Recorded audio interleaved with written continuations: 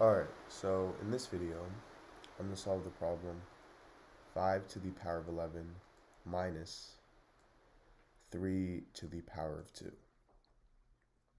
So I want to find the value of this problem. So what many people try to do to solve this is they first start by trying to take the power of 5, or sorry, 5 to the power of 11. But this is difficult because you have to multiply 5 by itself 11 times, and that's going to be a very big number.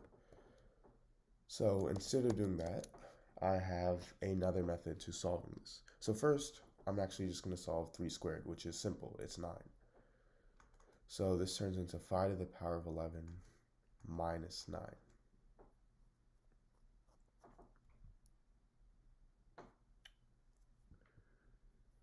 Now, from here, I'm going to rewrite 5 to the power of 11 as 5 to the power of 10 plus 1.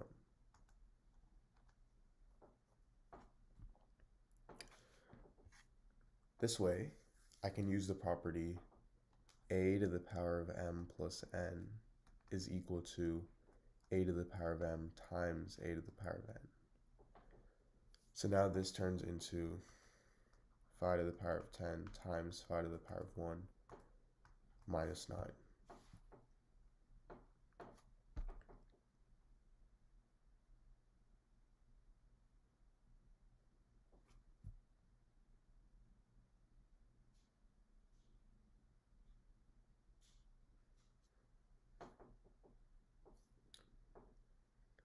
Now,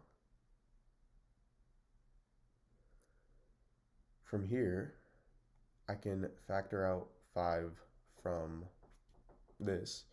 So I get 5 times 5 to the power of 10 minus 1 minus 4. And this turns into 5 times 5 to the power of 5 times 2, which I'm rewriting 5 to the power of 10 as minus 1 minus 4.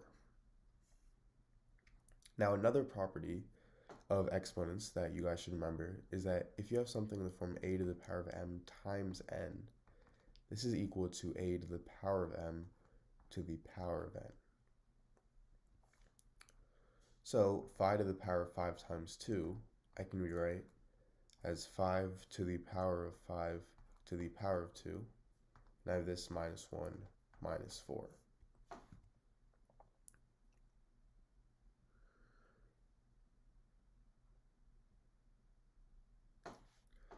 Now, I'm going to rewrite 1 here as 1 squared. And the reason I'm doing this is so I can use the property a squared minus b squared is equal to a plus b times a minus b. So notice how we have a squared, which in this case a is 5 to the power of 5, minus b squared, which in this case b is 1. So it turns into 5 times 5 to the power of 5 plus 1, which is a plus b, times 5 to the power of 5 minus 1, a minus b. And then we have minus 4 at the end. Now earlier, remember we had 5 to the power of 11, which was quite difficult to solve, but now we have 5 to the power of 5, which is actually much simpler to solve because it's just 5 multiplied by itself 5 times. 5 times 5 is 25, so I have 25 times 25 times 5, which is 625 times 5, which is 3,125. So I get 5 times 3,125 plus 1 times 3,125 minus 1 minus 4.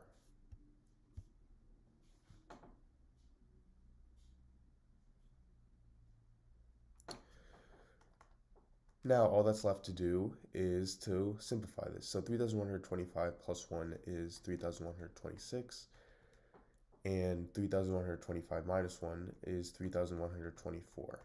And then we have minus 4 at the end. So the main challenge right now that we have is multiplying 3,126 with 3,124. What we could do is multiply the normal way, which is like this.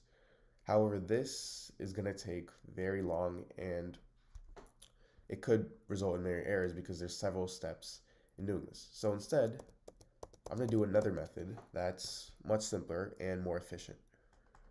So what I'm going to do is rewrite 3126 as 3100 plus 26. This way we have a simpler number because it ends in a 0. And same with 3124. I'm going to write as 3100 plus 24. So this way, to multiply these, I can just distribute, and there's no real challenge in multiplying any of these numbers because the larger numbers end with 0. So now I get 5 times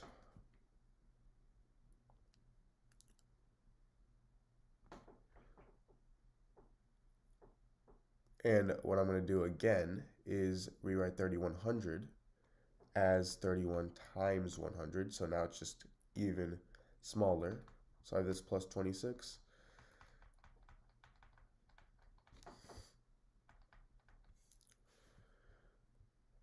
And now what I'm going to do is I'm going to use u substitution. So I'm going to let the variable u equal to 100 so now I get 5 times 31u, 31 times u, plus 26 times 31 times u, plus 24, minus 4.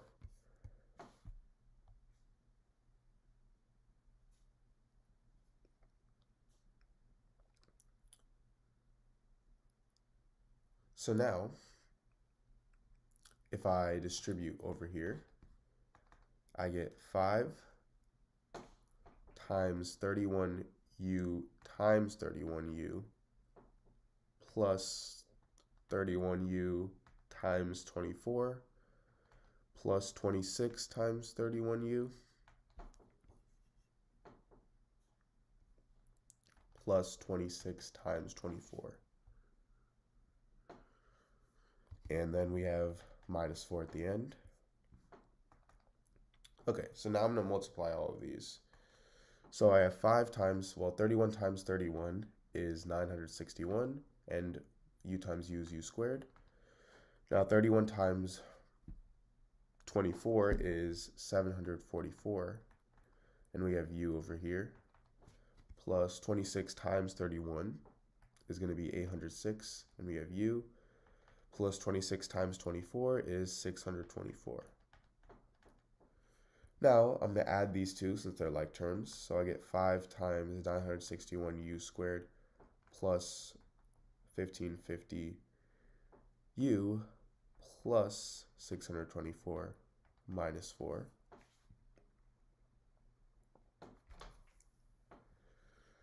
And now I'm going to multiply all these terms with 5. So 5 times 961 is 4,805 and we have u squared. 5 times 1550 is 7750u. Finally, 5 times 624 is 3116. And then we have minus 4 at the end. Or sorry, it's 3120. And then I have minus 4, which turns into 3116. Now, the last step is to just plug in the value of u. So remember, u is equal to 100. So it's not that hard to just plug it in because all we have to do is work with hundreds and multiplying hundreds is simple. 100 squared is 10,000 so I have 4,805 times 10,000, which we can just add four zeros to the end of. So now I get 48,050,000 plus 7750 with two zeros, which turns into 775,000 plus 3,116.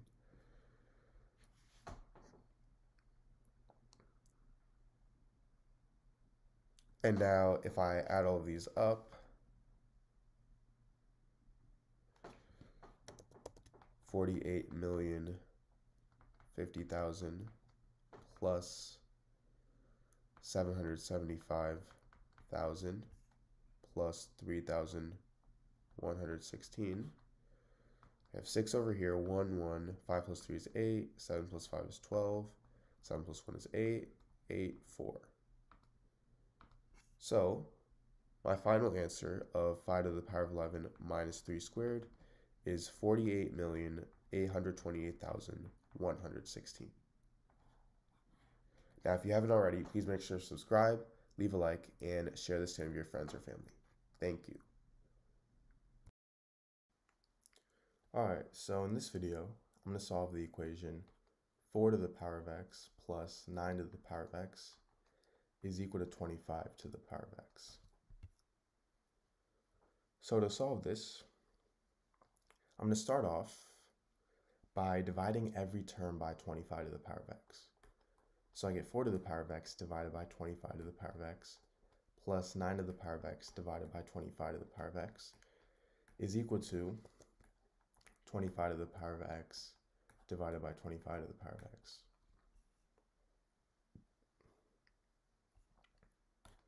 Now the 25 and 25 cancel out for 1, so now I have 4 to the power of x over 25 to the power of x plus 9 to the power of x over 25 to the power of x is equal to 1.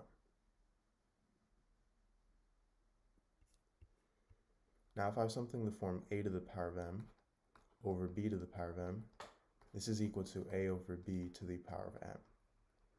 So 4 to the power of x over 25 to the power of x turns into 4 over 25 to the power of x. And 9 to the power of x over 25 to the power of x turns into 9 over 25 to the power of x.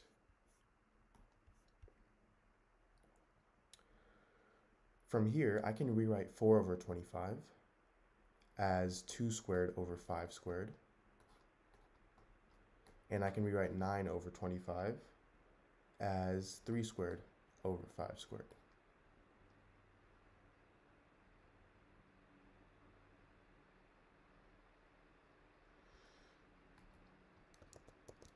And now, if I have something in the form a to the power of m over b to the power of m, remember, this is equal to a over b to the power of m.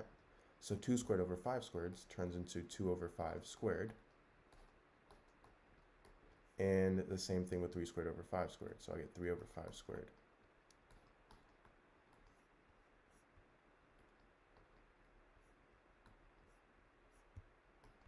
From here, if I have something in the form a to the power of m to the power of n, this is equal to a to the power of m times n. So the 2 and x multiply. So I get 2 over 5 to the power of 2x plus 3 over 5 to the power of 2x is equal to 1.